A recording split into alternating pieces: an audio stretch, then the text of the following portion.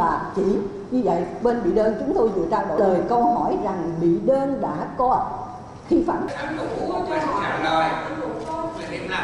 Để chứng minh cái nguồn gốc của các số tiền này. Với cái số tiền này thì phải chứng minh.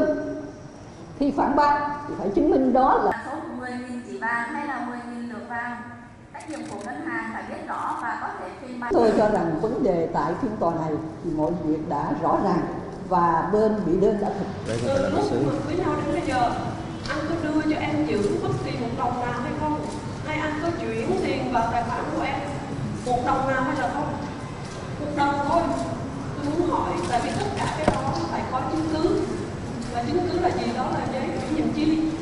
6 năm nay gần như là tôi im lặng. Sau những gì nói đã nói hết rồi. Bằng cái lòng mình bằng tất cả mọi chuyện gia đình tất cả đều hiểu hết. Trong lòng cô cô phải hiểu cái điều đó. Khi tôi không muốn nói bất cứ một cái gì về liên quan đến cô gần 5 năm nay và tôi cũng không muốn cho ai nói bất cứ những cái gì liên quan đến cô. Nhưng cô kéo ra đây. Hôm trước tôi quá giận đi hả nói nêu rồi báo chí báo đồ rồi làm đó. Thật sự về nhà không có bao giờ chịu được.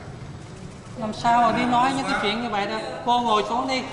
Tôi không có bằng cô được ở đó ở đó mà được, được đứng đây mà đôi co cô nó sống ở trong tâm của mình nghị ông Vũ trả lời câu hỏi hoặc là ông có quyền im lặng tiền ở đâu?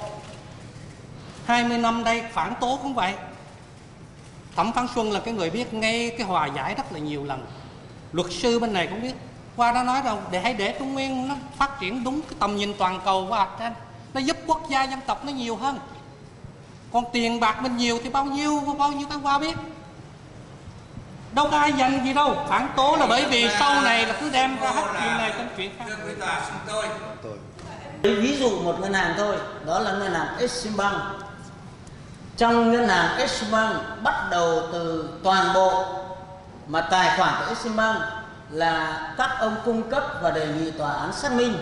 Và tòa án trả lời là đều bắt đầu xuất hiện từ ngày tài khoản số dư của bà Thảo là ngày 3 tháng 12 năm 2015. Ông có đồng ý như vậy không? là yêu cầu nguyên đơn hoặc là bị đơn. Bị đơn biết cái số tiền này nằm ở tài khoản của nguyên đơn.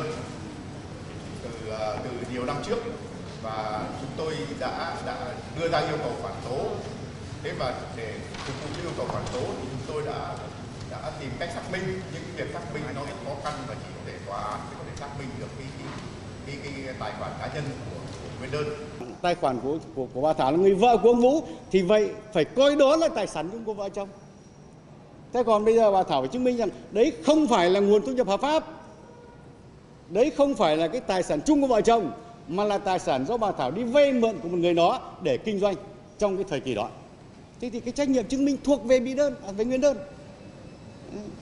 Chúng tôi không cần phải chứng minh rằng tài sản này có phải là chung không bởi vì pháp luật đã xác định cho chúng tôi cái điều đó rồi. Cái gì đã xác định thành nguyên tắc thì không cần phải chứng minh nữa. Còn nguồn gốc tài sản thì đấy, ông Vũ cũng nói, rồi đại diện bị đơn cũng nói như vậy. thì chúng tôi kính mong hội đồng xét xử xem xét yêu cầu của nguyên đơn liên quan đến cái số tiền và viện kiểm sát nêu một câu hỏi rất đúng là nếu anh nói rằng anh chứng minh đổ rất nhiều